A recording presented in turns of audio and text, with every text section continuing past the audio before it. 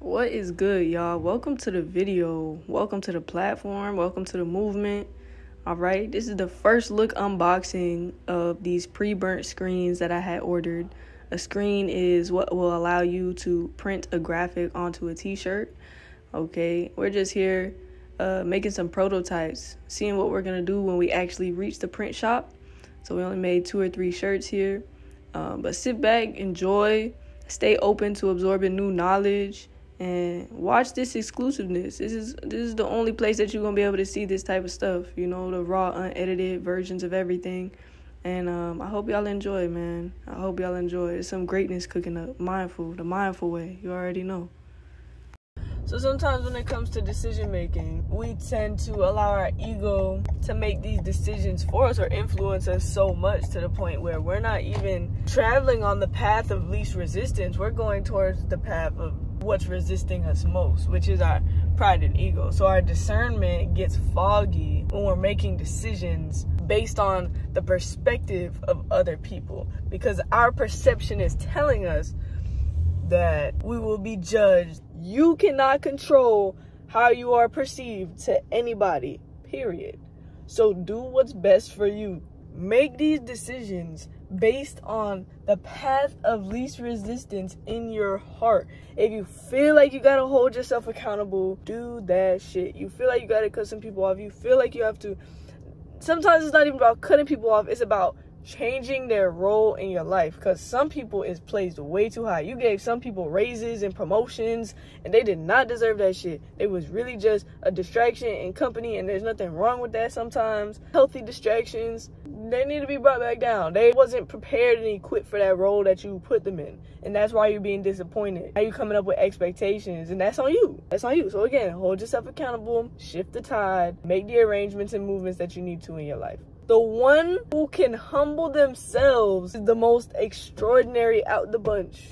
Keep yourself humble so the world doesn't humble you. Because I firsthand have experienced the world humbling me. And bro, I choose humbling myself first over that any day of the motherfucking year, okay? Stay down to earth. Stay lifted, elevated, but also stay down to earth. At the end of the day, reflect reflect and release. You should be the first one holding yourself accountable. Now, this is coming from a person who I hold myself to such a standard where I can be very hard on myself sometimes. But honestly, for me, this works for me. I wouldn't want to have it any other way. I'm not gonna sit and rot from the inside out. I'm not gonna allow it to stay under my floorboards. I'm going to release it. And when I wake up in the morning, I'm going to apply the same things that I just hold myself accountable, held myself accountable for. I'm going to apply that into my day-to-day basis. And me and my past versions, me and my childlike self at any stage. I love and respect because I did the best of my ability with the knowledge that I had obtained, and I give myself grace for that. But I do not hold attachments to who I was. And if I feel like I'm holding an attachment, then that's just a symptom of a root that I need to work on that is damaged or needs it's just in need of let me not say damage it's in need of a little bit more love a little bit more healing you feel me? A little bit more attention TLC time love care you feel me? Woo. all right y'all. Let me let me let y'all breathe real quick while y'all digest that. All right we in the lab man. We in the lab with it. Gino in the cut cooking up Still stacking whole money. If it ain't come up off a bone, still stacking whole money. Uh, bases on the corner. Oh, this ain't no show money. Get up off my dick. Watch a bitch, your hoe on hoe, son. Whole, whole, whole lot of woofing, but he ain't gon' stand up. He ain't really like that, nigga. Better put your hands up. Baby, put a faith in X. Know I got the answers. Nigga, one fall smooth. Nigga like me gon' blast him. Come and pick your mans up. Hey, pick your mans up. Hey, pick your mans up. Pick your mans up. I set it up for that paper late night, steady creeping. We them niggas in your bushes, leave them pissing, think he leaking. Out of my vision. Ladies and gentlemen, alright? It's a beautiful day. Got some words of encouragement. You know what I'm saying? I got my sweaters in the back. We're gonna be working on them soon. Uh, the brand is Mindful. You know, it's just another branch, another waterfall of Mind Over Millions. It's MNDFL, just like how it is on my face. MNDFL, Mindful abbreviation. No IRU, removing all ego. But I'm not fucking this chapstick. It's making my lips look hella chap, bro. Whoever say Carmex isn't good for your lips, Carmex don't be having my lips look like this. It be the natural ones making my lips look crusty. That's a shame. All right, but anyway, just bear with me. Just don't even look, okay? I can be a millionaire and I will spend those millions of dollars and I will sacrifice those millions of dollars to make sure I remain sane. I'm going to choose my mind because if I lose my mind, I lose everything.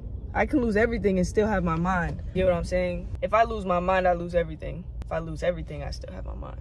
That being said, let's talk about entrepreneurship real quick. I'm approaching five years of entrepreneurship, not being employed. I had worked two minimum wage jobs in my life when I was 17 and 18 at McDonald's and at Tropical Smoothie until I decided to just go fully in. I was I was in barber school at the time, but just part-time. Think of it as a college. Think of it as your schooling. You go to college for four years and then you graduate. First four years of entrepreneurship is a whole lot of sacrifices and a whole lot of learning and unlearning and seeing what works for you and what methods works and what's a what's a nice balance for you. Not everybody can work seven days a week for 10 years. Their body is going to be breaking down. You want to make sure that you have longevity. So how are you going to take care of yourself, take care of your body, heal, recover? I get massages every other week. I go to the chiropractor every other week to once a month. Just the little things to make sure your mind is good and make sure you're fully rested. And the interesting thing about entrepreneurship right? Because people say like, you know, you never have a day off, so to speak, which I find is true. So at this moment in time, I, take two days off a week as my balance.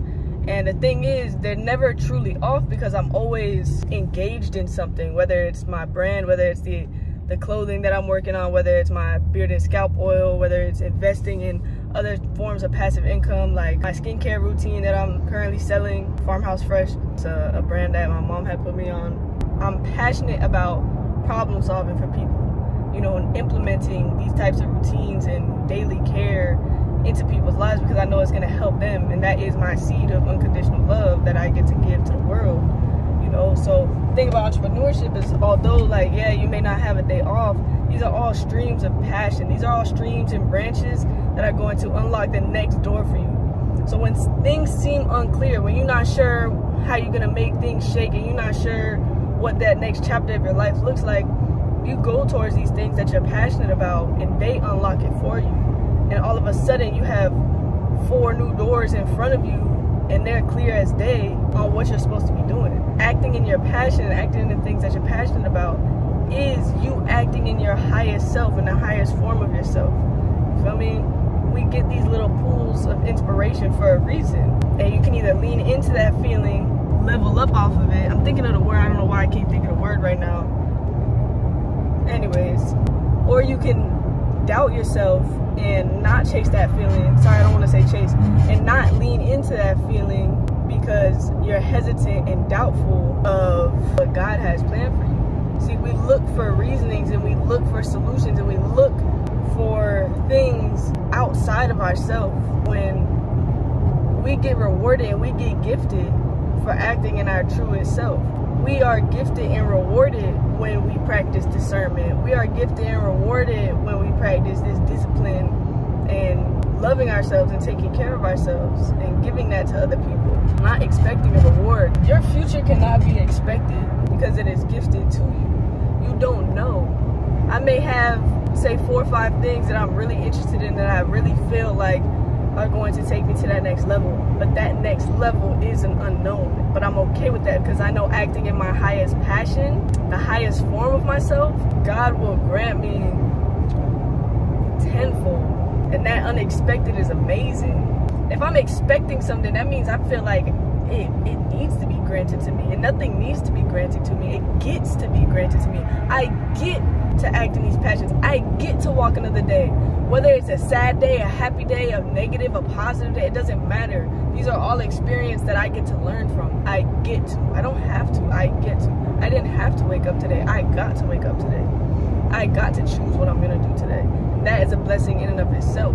It's not about motivation, it's just inspiration. Continue to feed yourself, and you'll be able to feed the people around you. We are abundant. Abundance may not show in the form of money at this moment if you're struggling with that and you're trying to place yourself in a position of getting money, you're gonna take that salary because you're gonna make 80k, but you're miserable. That's not a good give and take to me because it's mind over what? Mind over millions. I'm gonna choose my mind and things that bring me satisfaction. Things that I I get to sleep well at night because knowing that I am doing the things that I choose to do and that I get to do. I mean, very grateful. We have to show gratitude. We have to show gratitude. Things will get rewarded to us. Just understand that it is not all your timing. If you get to expect the timing, it's not all that special. You feel me? Things come unexpectedly. The greatest gifts come unexpectedly. So yeah, we can do a little quick tour. So these shelves, these shelves right here are gonna be holding the one and only Mindful Tees. Mindfully printed only. Know that. Red stitching, custom stitching. Yeah, yep, yep, yep. So these are gonna be holding that.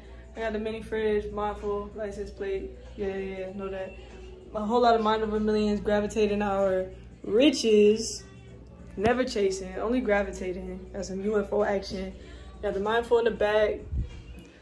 Keep your keep your coins. I want change. My dog right here want world change. We got some Banksy up here. You feel me? We got some sticker action going on up here. The Palo Santo just finished burning. Yeah, a little graffiti work, a little no speed limit. My locker joint. Got Mac Miller. Got Kendrick down here. Of course, the record player. That's a must. We got Erykah Badu spinning right now. Got Untitled Unmastered, Kendrick. We got some Steve Lacy joining it. Amy Winehouse, Jimi Hendrix, little Frank Sinatra. Gotta have the classics, got to. Got some CD joints too. DMX, The Game. got to, bro. It's just, it's essential. It really hits people in a different place. I had, I had a new client the other day and when I turned him around, he didn't even realize. He's like, that music is playing off a record player. He's like, I haven't seen that since I was back home in Jamaica 18 years ago. You feel me? So it touches the heartstrings a little bit different. You feel me? It got some just a little work down here. And then also I got my mindful oils. Came out with my own oils in the meantime since the last time y'all seen me. But passive income has been like a huge game changer for me. This space honestly has transformed me. It's transformed my relationship with my clients. It's transformed my mindset shifted me into that direction that I needed to be in and holding myself accountable for my business because I can't blame anybody in here. This is all me, feel me? So if anything's going wrong, it's not like I can project to anybody or point the finger at anybody else. It's all me, and that's amazing. I'm a person that, you know, practices discipline and discernment and also just accountability. It's a stepping stone that I'm like forever grateful for. I'm so glad that I made that leap of faith. And to anybody who's on the edge, just go ahead and take that leap, bro, because you you earn your wings once you jump things don't happen overnight. You know, we have to understand patience. It's the little moves. I had bought these blank t-shirts back in November, but slowly but surely just building that arsenal until you're ready to pull the trigger. It's slowly but surely. Great things do not happen overnight. It happens with teamwork. It happens with patience. It just sacrifices, investments, just little by little, bro. And you see your vision come to fruition, and that is the greatest feeling and I'm just ready to drop so I can start on the next project. You feel me? And um, you turn it into a lifestyle. Truly, it's no longer just a, it's not a task, and it's not something that you have to chase. Being so vulnerable with yourself that other people see it and they realize that it's an extension of yourself, and they want a piece. They want a piece, bruh. Your energy is in this. You feel me?